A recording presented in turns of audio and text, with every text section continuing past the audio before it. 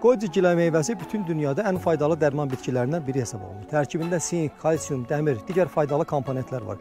Bu səbəbdən də uzun əsrlərdir Şərqi Asiya ölkələrində, xüsusən Çində xalq təbabətində çox geniş istifadə olunur.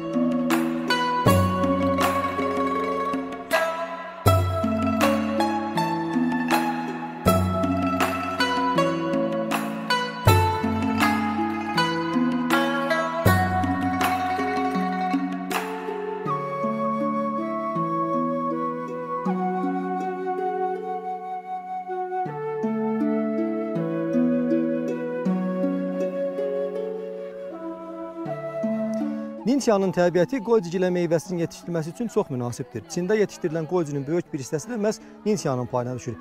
Ninsiya qoycusu dadına görə də xeyli fərqlənir.